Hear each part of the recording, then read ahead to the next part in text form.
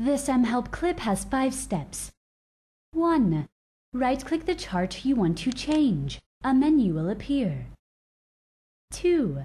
Click Change Chart Type. A dialog box will appear. 3.